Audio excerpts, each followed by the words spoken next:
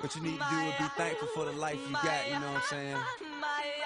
Stop looking at what you ain't got, start being thankful for what you do got. Let's get it to him, baby girl. Hey. That's right. Okay. Okay.